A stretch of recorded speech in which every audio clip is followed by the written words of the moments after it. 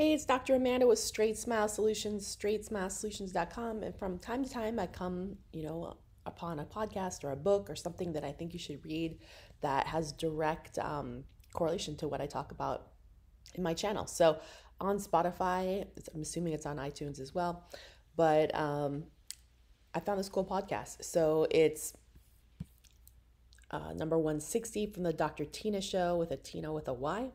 Um, you should be able to find that if you just check it out on whatever app you use for podcasts. I believe it's also online. Basically, she got into a conversation, I believe, with someone who was an OMT.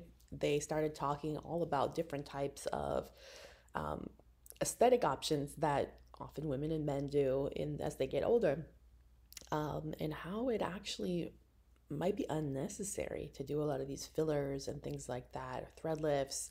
Um, if you just have the right diet to support the bone health, um, bone is constantly remodeling.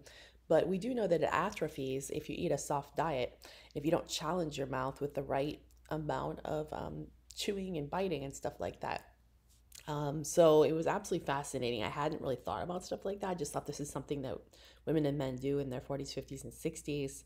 And, you know, is it actually making the bony foundation of one's face worse? So there is no research to back this up. It's just a hypothesis, but the hypothesis comes with merit. So it made me really go, hmm. Um, so yeah, give it a listen. Um, I really like her show, by the way. She's a naturopathic physician, and she gets into all different stuff, um, medical and dental um, from a doctor's perspective. But um, she really thinks outside the box, and I, I like to think that you know I do as well. So would love to meet her someday, Dr. Tyna, if you're listening. But anyways, um, yeah, you guys should definitely check out this podcast. It's about an hour long, but I think it'll really, it really gets into the whole airway, mouth breathing, um, facial position, tongue rest posture, everything that you should be doing as a dentist. Um, and then you're going to think about things a little bit differently after you listen to it. All right, thanks.